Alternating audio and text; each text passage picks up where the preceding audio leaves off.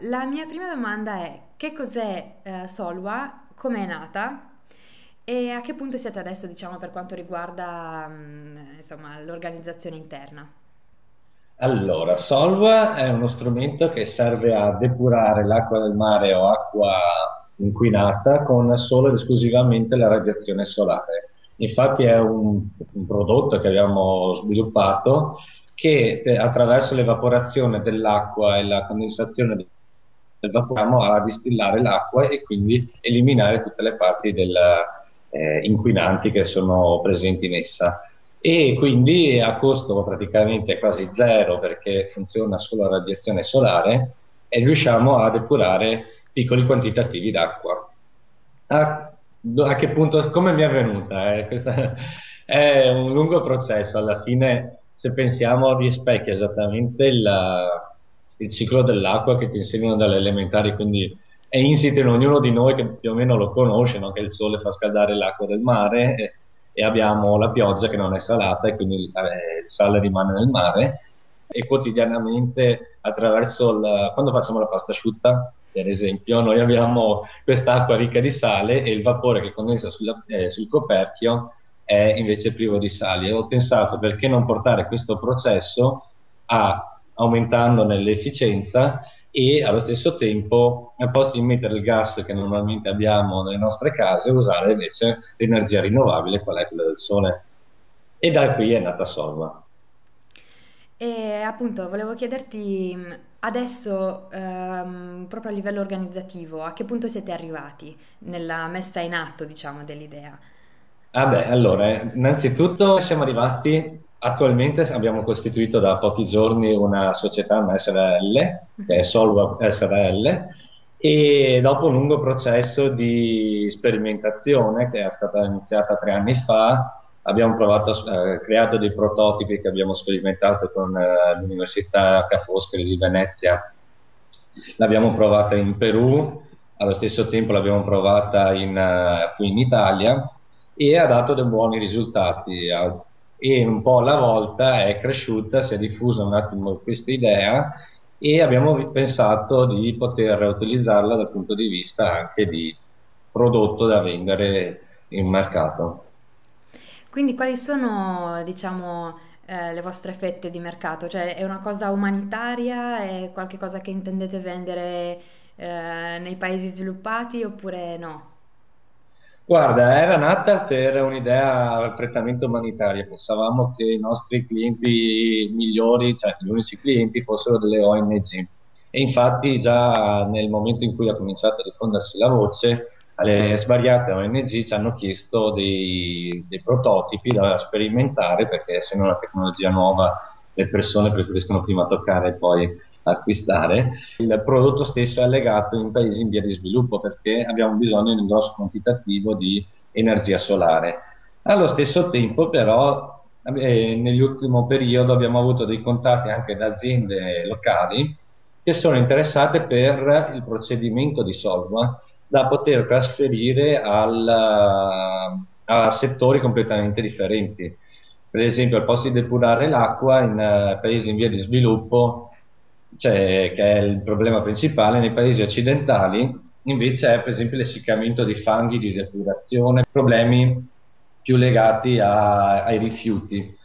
O lo stesso anche i fanghi da bonificare vengono e stiamo cominciando a elaborare una, una ricerca in questa direzione per aprire nuovi settori di sviluppo, quindi con aziende italiane, con enti italiani, piuttosto che dei paesi in via di sviluppo e quindi aprire anche questo mercato.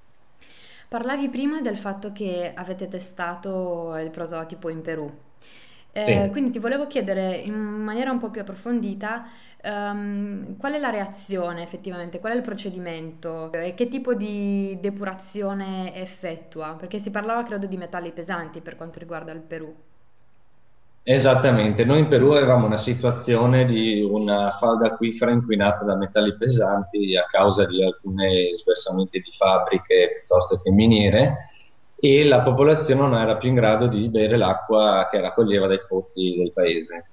Noi siamo intervenuti con questo nostro sistema che, scendendo più nel particolare, non fa altro che eh, attraversare una serie di scambiatori di calore ed entrare all'interno di una serra, prettamente una serra, con una vasca di contenimento al cui interno l'acqua scorre e l'effetto serra che si viene a creare insieme alla serie di scambiatori di calore che abbiamo posto permette di far arrivare l'acqua a una temperatura molto elevata, intorno dai, la facciamo entrare ai 20 gradi per capirsi ed esce a 80 gradi nel giro di un metro e le, questo crea un'evaporazione che al posto di condensarsi nella superficie interna della serra stessa, noi raccogliamo questo vapore e lo facciamo condensare attraverso del, un altro scambiatore di calore, acqua distillata, cioè tutto ciò evapora a temperature inferiori al, al punto di evaporazione, potremmo dire, e alla pressione di vapore del, dell'acqua,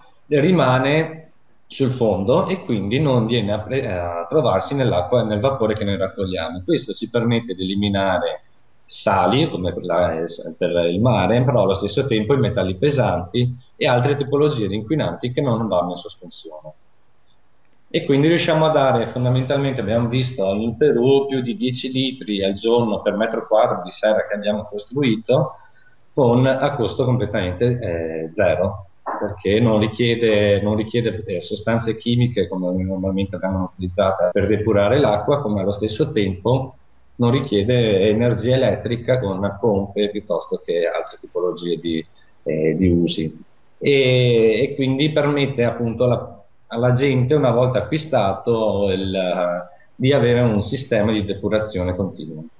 Ma io ho un'altra domanda a questo punto, visto che Eh. l'acqua che viene ottenuta è acqua distillata, di fatto non si può bere così com'è, giusto? Esattamente, esattamente. Noi abbiamo eh, sviluppato una serie di sistemi post, eh, di post-trattamento dove facciamo passare l'acqua o all'interno di una specie di filtro ripieno di sali minerali che un po' alla volta vengono disciolti e quindi rimineralizzano, come diciamo noi, l'acqua o nei casi migliori eh, possiamo dire allunghiamo l'acqua iniziale, cioè l'acqua inquinata è inquinata perché supera determinate soglie su metalli pesanti piuttosto che cioè, determinate concentrazioni. Ecco, noi diluendola con acqua distillata praticamente riusciamo a, a renderla potabile sotto quel punto di vista. Abbiamo il problema quando è inquinata dal punto di vista invece batteriologico o organico e in quel caso noi invece utilizziamo quei filtri che dicevo prima. Chiarissimo, Eh, so che Solva ha anche ottenuto eh, diversi riconoscimenti. Eh sì, diciamo che il 2011 è stato interessante. Abbiamo avuto svariati riconoscimenti durante l'anno scorso. Mm, Dimmi qualcosa di più e dimmi soprattutto quali Allora, sono stati e quali sono stati, diciamo, i vantaggi che ne sono derivati.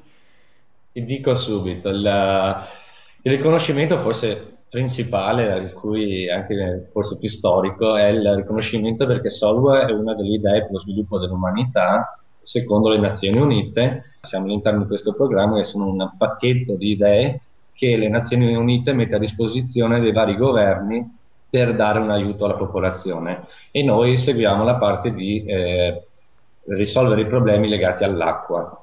Allo stesso tempo, l'anno scorso ho partecipato al TR35, te- eh, che ha organizzato la Technology Review dell'MIT, e, abbiamo vin- e ho vinto il premio per, eh, come innovatore dell'anno 2011 secondo l'MIT, la versione italiana, e nonché il premio nazionale dell'innovazione al- a Torino si è svolta la finale e ho partecipato e abbiamo vinto con Solva è stata riconosciuta un'idea interessante, nonché avevamo partecipato anche alla startup a Veneto e ci eravamo classificati tra i primi.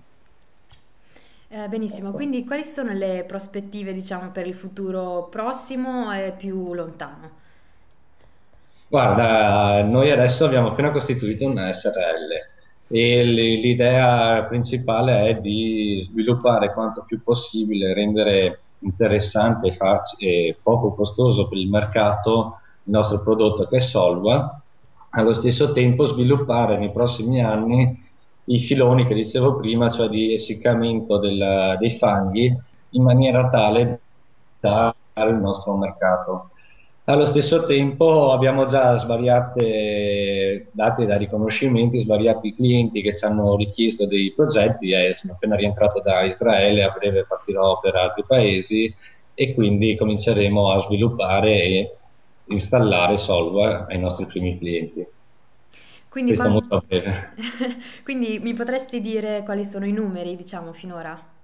Guarda, per ora sono sistemi abbastanza, ce hanno richiesti abbastanza piccoli perché sono sperimentali. Se pensi, noi dobbiamo prese- preparare all'incirca una sessantina di Solva per la Palestina del prossimo mese, piuttosto che altre 3-4 per il Burkina Faso, poi altre 3 a partire per la Tanzania e dopodiché vedremo se già altre ONG stanno intervenendo, abbiamo vinto alcuni bandi europei e quindi anche cominceremo a portarle in Senegal, in Se- eh, in Senegal e Uruguay e a breve anche in Perù ritorneremo. Magari con un impianto più, più potenziato, diciamo. Sì, sì, sì, sì, sì, infatti adesso vediamo perché un grosso settore che si è dimostrato particolare, potremmo dire, è le opere di compensazione, cioè il greenwash che molte aziende attuano. In quanto, dato dai riconoscimenti che abbiamo avuto, alcune grosse multinazionali ci hanno contattato per avere come compensazione al- ai problemi ambientali che possono arrecare in alcuni paesi. E quindi quello sarebbe una grossa fetta del nostro mercato a cui andiamo. Insomma, cosa dobbiamo aspettarci da Solwa nei prossimi anni? Eh, che modifichi un po' il... Beh, oddio, cosa potrei sognare che modifichi il modo di eh, approcciarsi in generale alla depurazione dell'acqua o all'utilizzo dell'energia, quindi puntare in energie rinnovabili su molti nostri problemi che attualmente per pigrizia, secondo me, mentale, spesso non ci rendiamo conto dell'energia che ci circonda e che possiamo utilizzare. E questo è l'obiettivo della nostra. Che cosa ci aspetta nel nostro futuro? In generale, a prescindere da noi, ecco, noi vogliamo essere un piccolo settore di questo nuovo green economy, come si viene chiamata, e ci aspettiamo che Solva possa essere sempre più riconosciuta e interessante per eh, la popolazione, soprattutto per l'acqua, ma anche per altri scopi. Paolo, io ti ringrazio tantissimo di essere stato qui con Grazie, noi oggi. grazie a te, grazie dell'intervista, complimenti per il sito che ho visto è molto bello, Gra- grazie a te, davvero in bocca al lupo per il progetto. Va bene, grazie, ciao a tutti. Ciao!